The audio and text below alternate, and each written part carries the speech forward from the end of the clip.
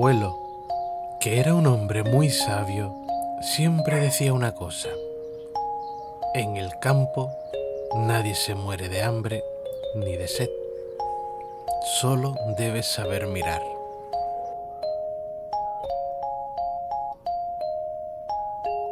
Y con el tiempo lo entendí. Puede que lo que comas no te guste, pero no pasarás hambre. Y quizás lo que bebas tampoco, pero no morirás de sed. Mi abuelo, el papá de mi mamá, era un hombre de campo. Entendía de todo aquello que podías encontrar en la pura naturaleza. Sabía en qué época sembrar y recoger, cuándo florecen los frutos, los momentos adecuados para la poda, todo, todo aquello que tenía que ver con el campo, él lo sabía.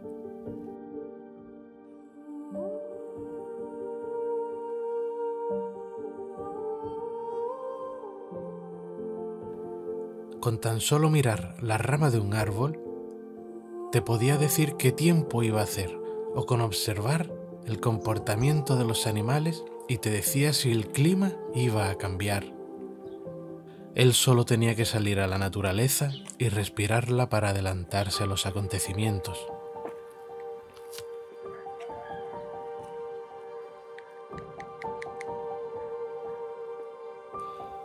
Mi abuelo lo sabía todo. Tenía tanto conocimiento que toda esa información no cabría en una enciclopedia. Y no, no tuvo internet, ni teléfono móvil, ni enciclopedias, ni libros. Él hablaba con la vida, él hablaba con la naturaleza.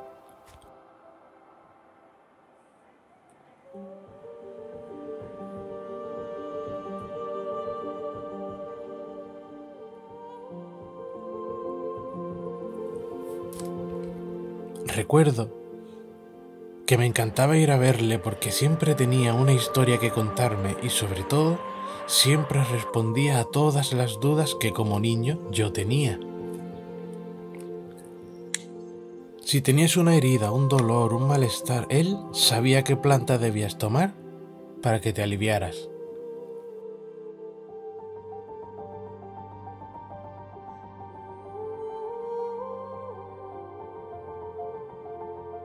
Además, mi abuelo fue lechero y frutero. Lo hacía todo a la vez. Cuando el reloj marcaba las 5 o las 6 de la mañana, ya estaba trabajando.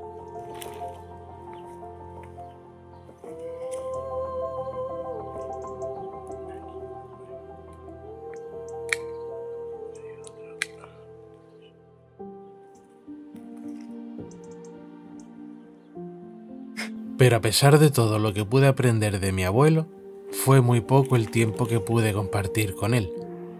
Cuando yo solo tenía seis añitos, se tuvo que marchar, pues ya había hecho en este mundo todo aquello que tenía que hacer. Fue quizás gracias a él que tengo todo este conocimiento en relación a la naturaleza.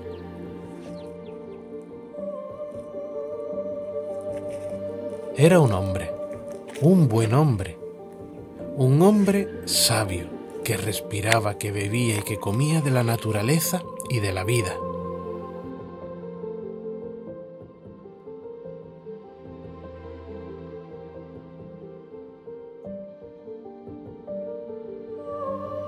Aunque solo fueran seis años, tuve la suerte de coincidir con él en esta vida y aprender todo lo que él me decía.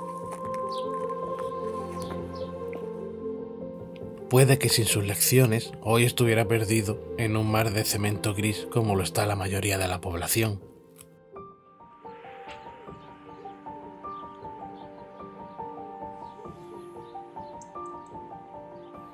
Hoy las personas no valoran ni saben lo que es la naturaleza o la vida en el campo, con todo lo que ello conlleva.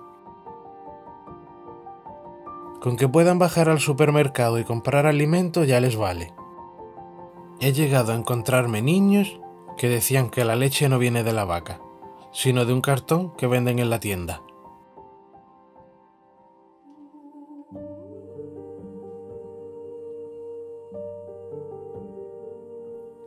La raza humana cada vez está más desconectada de sus orígenes, el lugar donde lo tenemos todo, de donde venimos y donde tenemos nuestro lugar. El conocimiento ya lo llevamos dentro, solo tenemos que recordarlo.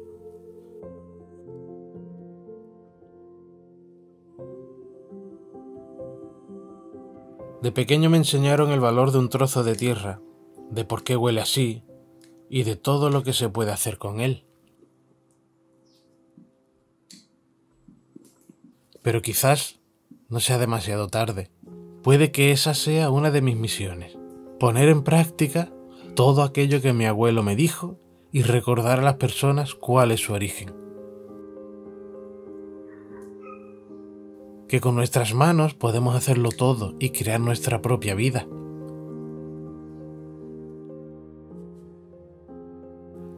La madre naturaleza nos lo da todo, pero a su debido tiempo. Solo debemos saber escucharla y observarla. Si conseguimos eso, nunca, nunca, nunca nos faltará de nada.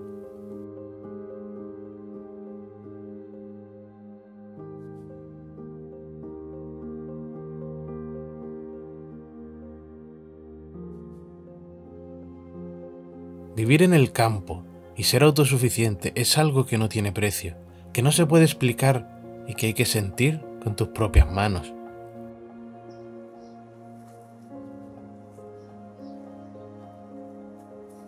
No todo en esta vida es tecnología, la creación de un futuro de ciencia ficción o el crecer vacíos sin conocimientos de causa.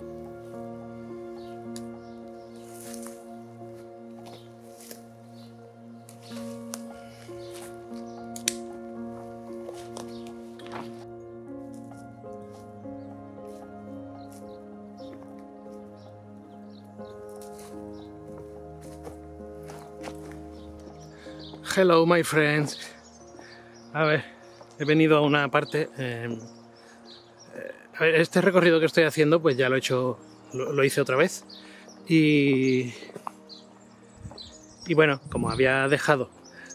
A ver, en el campo hay que tener en cuenta una cosa: que si lo coges todo, esto como los, como los peces en el mar, eso que se dice que los, los pequeñines hay que dejarlos crecer, ¿no? Pues en la naturaleza pasa lo mismo. Hace poco fui a coger espárragos, como hoy, y, y los que eran muy, muy, muy, muy, muy pequeños. Anda, qué sorpresa, acabo de encontrar espinacas silvestres. Voy a cogerla, pero primero os lo digo. Eh, eran muy pequeños y los dejé la otra vez. Entonces estoy haciendo una ruta, pero por donde acabo de venir ahora mismo pues hay pocos. Hay, pues nada, se ve que es una zona más árida y las otra, la otra zona es más húmeda. Se me ha metido algo en el ojo.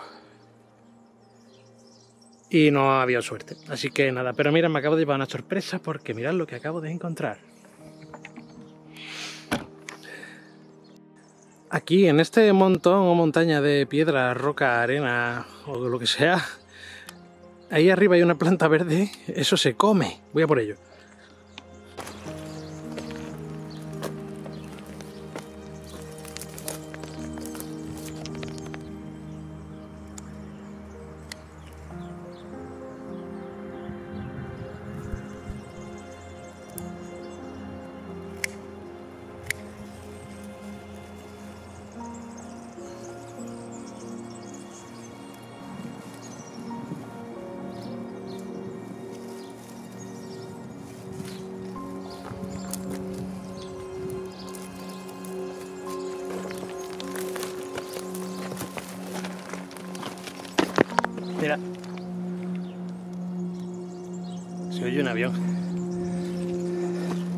Son espinacas silvestres. Están un poco crecidas. Ya no son brotes, pero da igual, de la misma manera se pueden comer. Voy a parar la grabación porque me queda poquísima batería. Me han fallado las otras dos. No sé, si, no sé qué les ha pasado. Pero me voy a quedar sin batería. Voy a recoger todo lo que hay ahí porque no lo veis, pero arriba eh, hay muchísimos más manojos de espinaca. Voy a intentar que lo veáis y si no, ahora cuando llegue a casa os enseño todo lo que he cogido. Me encanta salir al bosque, oler la naturaleza, el fresco de la mañana, el olor a tierra húmeda, oír a los animalitos y saber identificarlos en la lejanía, mirar las nubes y saber qué clima va a hacer, aunque contradiga al que dice un señor por la tele que se guía de satélites mágicos.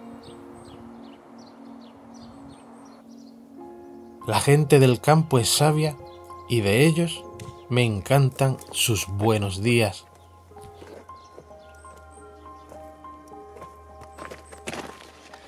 He dejado he dejado alguna porque está claro que va a seguir lloviendo. Y lo que he dicho antes, si dejamos siempre algo en el campo, pues va a seguir brotando. No hay que ser avaricioso, hay que coger solo lo que se necesita.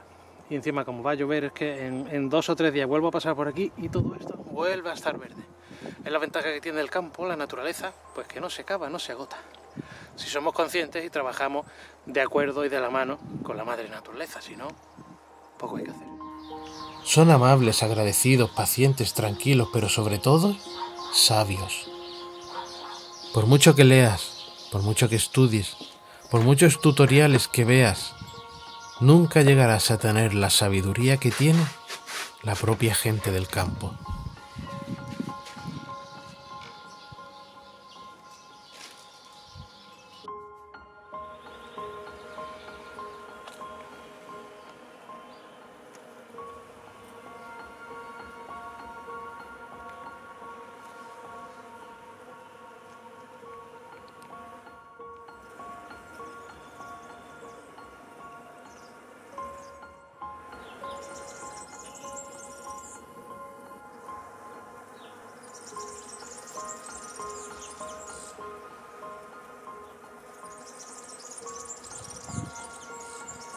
Bueno, como veis, nos hemos puesto aquí con nuestras amigas las abejas. Mucha gente le tiene miedo, pero la verdad es que no entiendo por qué. Ellas están trabajando, yo estoy trabajando, si no nos molestamos el uno al otro, podemos estar tranquilos en paz y en armonía. Me he venido aquí, debajo de este árbol, de esta mimosa.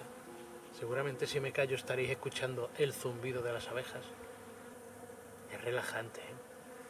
Pues aquí me he venido, porque lo que voy a hacer es que todo lo que hemos cogido, esto podría hacerlo con una...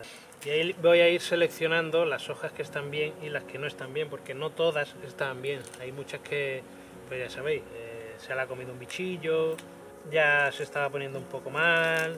Por norma general casi todas están bien. Así que nada, las voy a ir echando aquí dentro de este recipiente. Esta es la hoja Mucha gente solo se come lo que viene a ser la hoja, pero la verdad es que yo esta parte también me la como, hombre, a menos que esté muy muy dura, pero si no se trocea y te la puedes comer tranquilamente. Siempre me he preguntado, ¿qué pasaría si una mujer o un hombre de campo tomara las riendas de un país?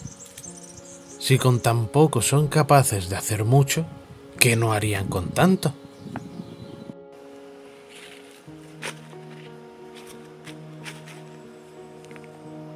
Me gusta pensar en voz alta y soñar. Soñar que algún día alguien como mi abuelo pudiera estar al frente de una nación. Seguro que la haría más sabia, más culta, más grande, pero porque haría grande a las personas que viven en ella. En fin, creo que está floreciendo en mí esa forma de pensar de la gente del campo. De momento, voy a ir preparando mi huerto para ser autosuficiente con la vida, pero eso es algo que mejor os cuento otro día. Ahora una cosa que tenemos que hacer con mucho cuidado es a, las espinacas en el agua, lo que le voy a hacer es echarle unas gotitas de lejía. Una gota de lejía es capaz de desinfectar un litro de agua. Entonces, calculando más o menos eh, la cantidad de agua en la que están ahora mismo las espinacas, que habrá unos 5 litros 4 o 5 litros, le voy a echar 3 o 4 gotitas. Hay que echarle gotas. Una gota desinfecta un litro de agua. Por si hubiera algún bichito, alguna bacteria, algún, algún producto químico, algo. Entonces eso pues lo limpia. Y luego después hay que lavarlas muy bien para que no. Pues para que esa gotita de lejía se vaya y no se introduzca en tu cuerpo. Que al ser una gota tampoco pasa nada, pero bueno. Y no sirven todas las lejías. Hay que utilizar una lejía que lo pone, lo precisa, pone que es apta para la, desinfección, pero no sirve cualquier lejía, hay que utilizar una, lejía que lo deja bastante bien claro, lo pone, si miras la etiqueta pone apta para la desinfección de agua.